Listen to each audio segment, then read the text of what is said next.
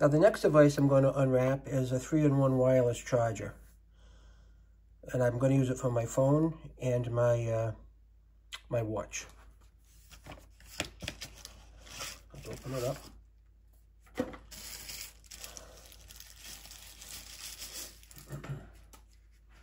That's what it looks like. It looks like it's just going to unfold.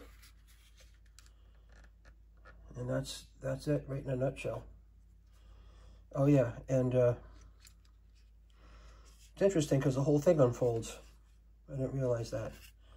So that's for the phone. That's for your iPods, I, iPad if you have it, iPods, and you can put your watch right on the back of this, okay? And you just fold that up into the position that you need it, okay? Now this came, I didn't realize this, this came with its own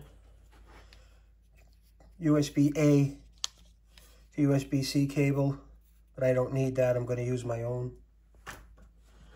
Now let's plug, let's plug this phone cable in. See how we're doing? Right off the bat, lights right up for me. Perfect. Now, oh, it's got a little night light on it, see? touch that on off. Okay? And then the thing else that I really wanted was I wanted to be able to. I've been taking my iP iPad, mini iPad downstairs to charge. But in this case here, I'm just going to plug it in. I heard it chirp, chirp for me. And uh, we're going to be charging that up now. Right now it's only at 17%, so it's probably got a way to go. But that's it. That's the uh, little stuff I got for today. I hope you enjoy it and uh, hit the like and subscribe button. Thank you.